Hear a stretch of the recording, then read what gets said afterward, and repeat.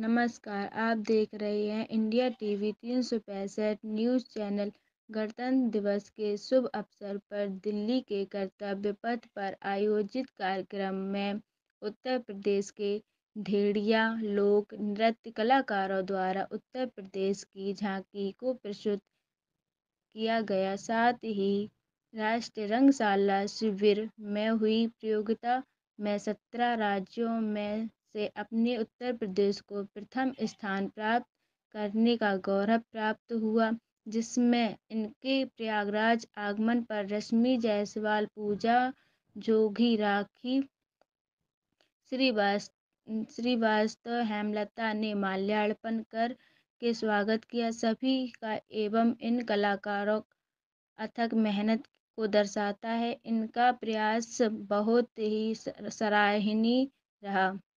पूर्णिमा, अंकिता जायसवाल, करिश्मा आर्या सेल्वी शुक्ला, प्रियंका कीर्ति चौधरी, कौशिकी स्नेही, सुभि आदि का विशेष योगदान रहा।